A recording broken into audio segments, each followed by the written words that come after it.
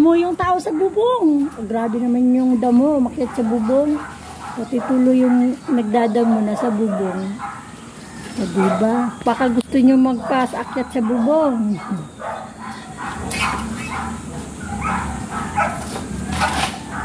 Um, bilisan mo di yung pandesal natin di malamig na. Grabe yung kalamansi oh. Luma, luma, lumag, ano, lumagpas na sa ano sa mga bubong ng bahay at kapitbahay. Di tingnan mo yung puga di baka may egg. Wala. Ganon. Ano? Wala pala.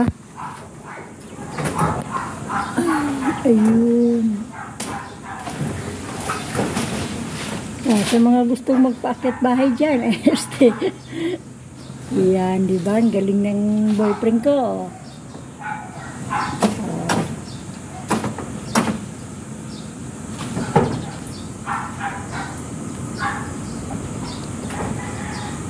Ang daming damo, oh.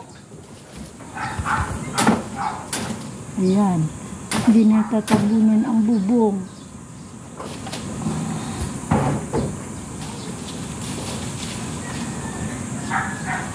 Yung damo na yun, oh, ang galing, bilis gumapang yan.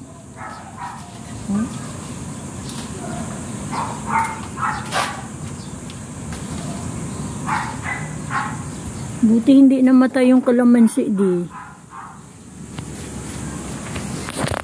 Dami niyang damo.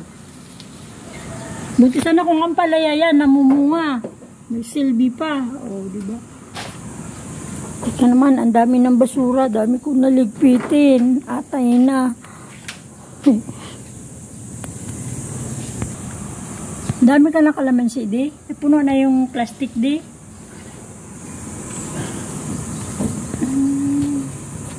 Parang uulan na naman, oh. Naambon, ang dilim.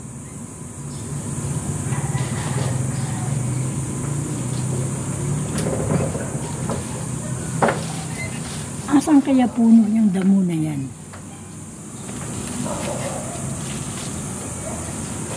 Ito ngayon.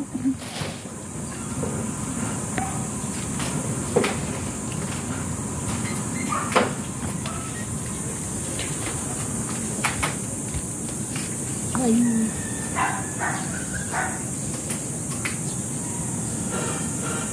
Ilan ang pugad dyan di? Isa lang? Ayun di oh, sa baba. Laki ng kalamansi di. Ayun oh. Sa baba oh. Ah, di ba nalibre kami sa kalamansi ang mahal-mahal ng kilo. Ayun pa pala dami doon oh, sa may palmera oh, doon. Kakapi mo na ako. Mamaya na ako magligpit nitong sangkatutak na kalat na to.